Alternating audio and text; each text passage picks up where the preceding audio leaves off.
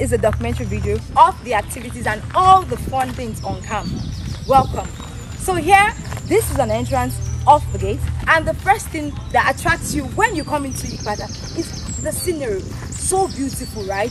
Very, very exhilarating. For those who like the outdoors, this is going to be wonderful. For those who, nah, not really, ah, it might quickly get boring for you. Now in Yikpata orientation camp, there is a map. I'm going to take you to all the sports on this map. Now let's head to the clinic. Walk with me please. Now we're at the clinic. This is the camp clinic here at Yikpata Orientation Camp.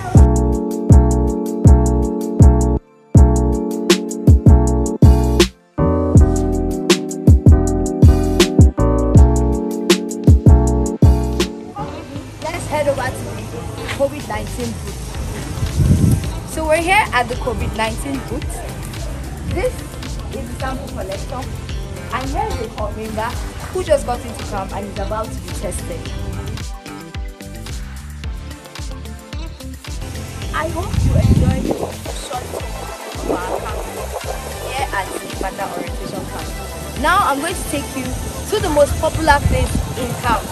Come along with me. Now, it's a popular saying that you can't come to orientation camp and not visit one place. So we're here at the Man O'War village. And we can see corps members carrying out one activity or the other. Quick intro to this. Each of these activities have something behind them. It's not just about your physical strength. Mental ability is also very important. I hope you've learned one or two on this our short tour in the Man O'War village.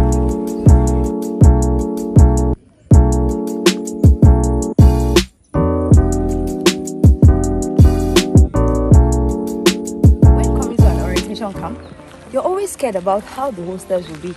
So let's find out how Yikpata orientation camp hostels actually are. Come along with me, please. Oh, as you can see, the hostel is currently locked, but this is hostel 6, and opposite it, we have hostel 5. So let's go on. You're always so concerned about what am I going to eat? Do I have to spend so much money at the market? We're at the kitchen. In case any of you out there have been wondering how camp food tastes like, I can personally say it has been great. We can see how well the corps members are assisting. Kudos to them. Now let's move on. Welcome to the parade ground. This is where corps members have the most fun. Every morning and every evening, we gather here to have parade. And in the evenings, we have social activities. As we can see right now, a social activity is going on, a football match between 35 and 37. Come along with me now as we go to Mami Market. This is Mami Market. Here, you have various foodstuffs and various food stores where you can get anything you want. So for those big boys and big girls who do not eat at the kitchen, we have Mami Market for you.